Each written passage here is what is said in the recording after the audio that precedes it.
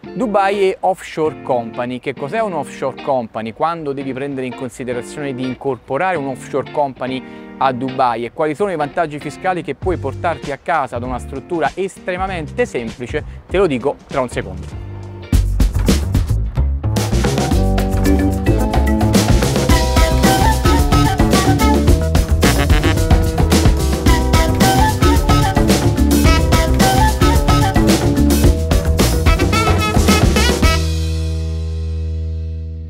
Ciao, sono Luca Taglialatela e tu sei sul canale di Tax Planning Internazionale. Se non l'hai ancora fatto ti invito a cliccare subscribe per rimanere eh, aggiornato con le notifiche del canale e a lasciarmi un like che se non ti sarà piaciuto il contenuto di altissima qualità che sto per regalarti mi leverai alla fine del video. Oggi parliamo di offshore company, ci troviamo non a caso a Dubai che oggi obiettivamente sta prendendo piede sempre di più rispetto a quelli che invece erano le giurisdizioni un tempo più utilizzate per incorporare un offshore company. E sì perché un offshore company, meglio definita perlomeno in passato come IBC, International Business Company, non è altro che una società, una scatola vuota fondamentalmente incorporata in una determinata giurisdizione, in questo caso Dubai, ma che però a Dubai non ha niente, non ha nessun tipo di attività né ehm, eh, commerciale né finanziaria. Quindi apro una scatola in un paese per investire, per proteggere, per esercitare attività in altre parti del mondo. Mm, più, una delle giurisdizioni più utilizzate in passato per questa tipologia di attività era il Belize se non Panama.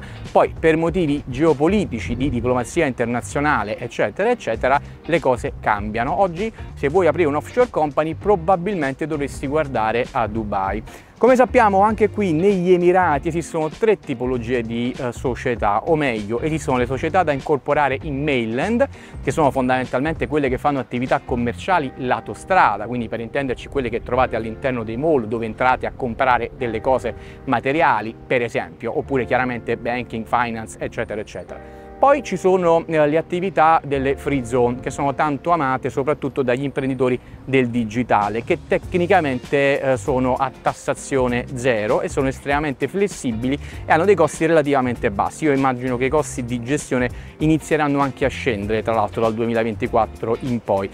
Le offshore company invece vengono utilizzati per altre motivazioni, fondamentalmente o da società immobiliari o da società, eh, diciamo, per, o come contenitori di intellectual property rights o, per, o, da società di distribuzione e logistica o per esempio da varie tipologie di, di, broker, vengono anche molto utilizzate in realtà anche dalle società di shipping, però non c'è un limite alle attività economiche eh, che si possono svolgere per il tramite di una holding, quindi va sempre presa in considerazione soprattutto se la si vuole utilizzare per entrare in nuovi mercati. Una volta le holding per entrare nel mercato asiatico si piazzavano ad Hong Kong, oggi potrebbe avere più senso utilizzare un offshore company.